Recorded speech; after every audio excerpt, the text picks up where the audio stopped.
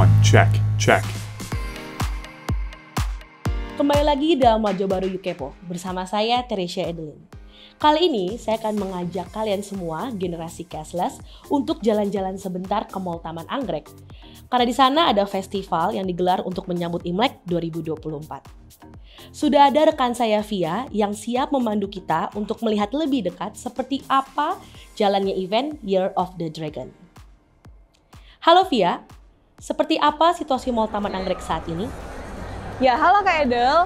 Jadi hari ini aku lagi ada di Mall Taman Anggrek, tepatnya di main atriumnya. Di sini lagi ada event Year of the Dragon. Seperti yang bisa dilihat, di sini tuh rame banget karena uh, event ini juga diadakan oleh Amos bekerja sama dengan uh, Yuk Women Gateway dan juga Mall Taman Anggrek. Nah, penasaran di sini ada apa aja? Mendingan kita langsung lihat-lihat aja. Let's go.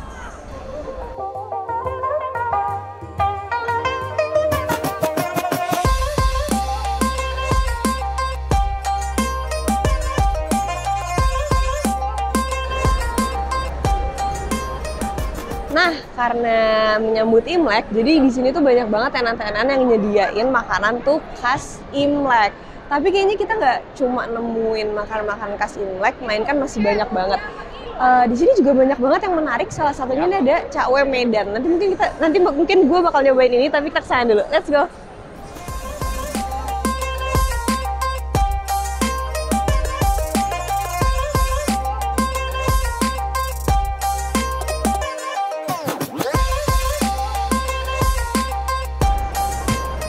Nah, salah satu yang paling menarik adalah di sini ada yang menarik banget yaitu Raja Putu. Siapa sih yang nggak tahu kue putu gitu loh? Dan di sini kalian bisa nemuin itu.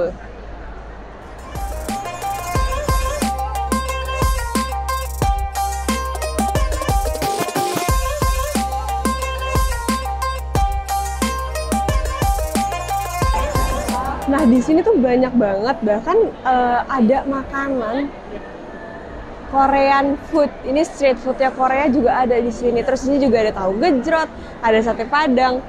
Jujur penasaran ke arah sana sih. Kita langsung sana aja kali ya.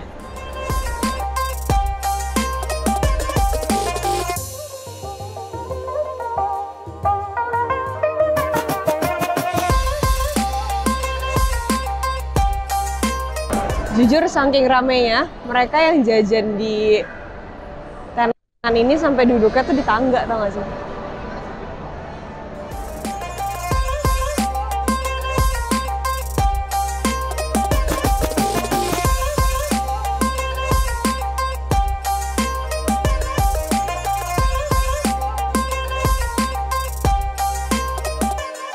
Nah, ini ada crazy pork, terus ada nasi pedas Bali. Jadi yang kangen makanan-makanan dari Bali, kalian juga bisa datang nih ke sini.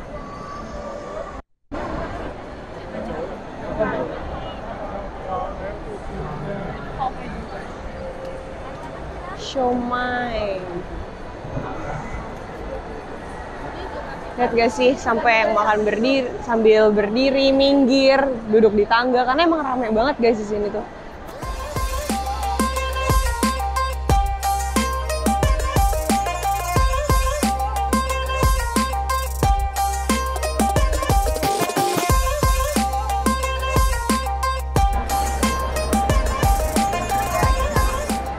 Di sini rame banget jadi jalannya juga harus dempet-dempetan. Ayo kita ke sana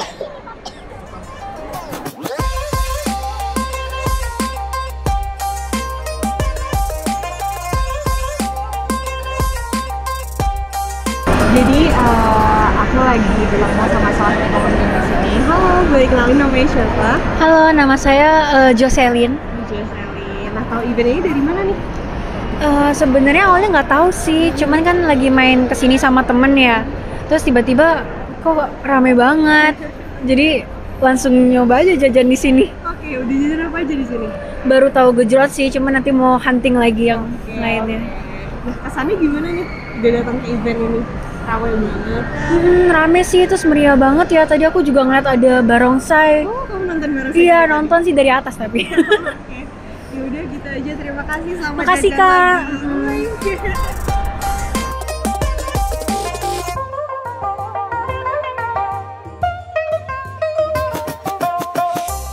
Beli minum dulu nih di Shell Tea. Kayak pom bensin ya.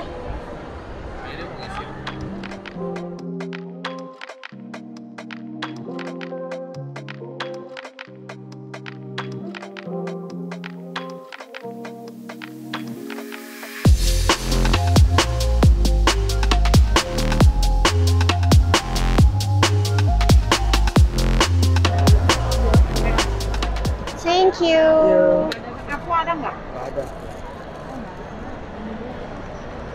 Kita cobain Shell Tea yang best seller. Tawar ya? Segar banget sih ini.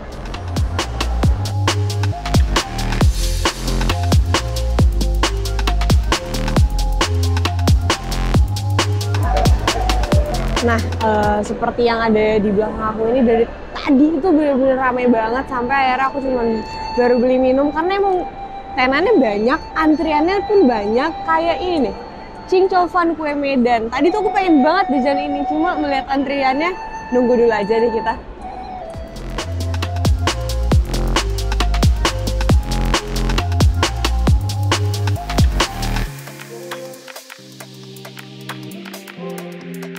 Demikian laporan saya dari Year of the Dragon, Mall Taman Anggrek. Saya kembalikan ke studio bersama Edel. Terima kasih Via atas liputan yang menarik ini. Kalau dilihat-lihat semua makanan sana lezat-lezat ya. Ngomong-ngomong soal kelezatan, pada tahun 2021, Taste of Atlas membuat daftar negara dengan makanan paling lezat di dunia. Pertama Italia, Indonesia di urutan ke-12. Tentunya itu jadi protes warga Indonesia. Tapi balik lagi, itu soal selera. Sekarang kita kembali lagi ke Mall Taman Anggrek. Halo Via, hal menarik apa sih yang di sana?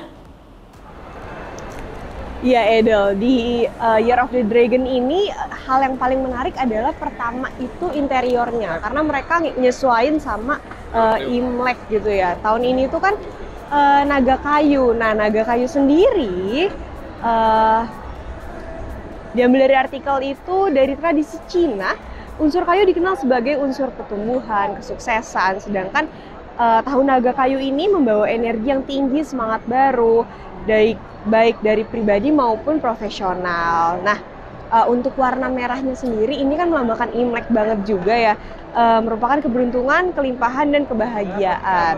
Dan event ini dari tanggal 18 Januari sampai 11 Februari 2024. Nah, uh, selain itu juga ada yang menarik yaitu di sini tuh cashless payment only. Jadi uh, Atmo, apa Amos ini tuh uh, concern banget ya sama pertumbuhan teknologi pembayaran di Indonesia yang sekaligus membantu UMKM juga di mana sekarang orang-orang juga udah mulai concern nih terhadap si cashless payment only di mana kita cuma tinggal nge-scan aja dan tadi di sini juga uh, di setiap tenannya saking antrinya mereka juga nggak perlu uh, ribet lagi nih dengan menggunakan cash dan semacamnya karena mereka udah tinggal nge-scan aja untuk pembayaran. Segitu aja kembali ke studio. Wah, menarik sekali ya di sana. Makanan yang lezat, tenan yang banyak, dan tentunya ornamen yang sangat ciamik. Event ini merupakan hasil kerjasama dari Amos Event Organizer, Mall Taman Anggrek, dan Yuk Payment Gateway. Event ini masih berlangsung sampai tanggal 11 Februari 2024. Jadi buat kalian semua yang penasaran, wajib datang langsung aja ke Mall Taman Anggrek. Nantikan liputan tim Yuk Kepo lainnya. Sampai jumpa.